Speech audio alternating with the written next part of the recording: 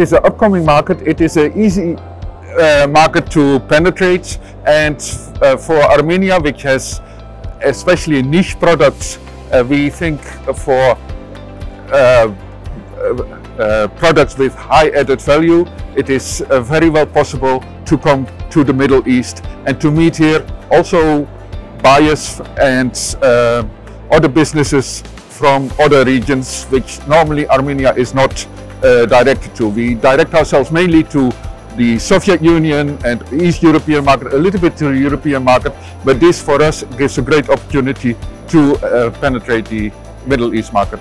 We think it was very, very much uh, facilitated by the management of the Menopa Trade Fair.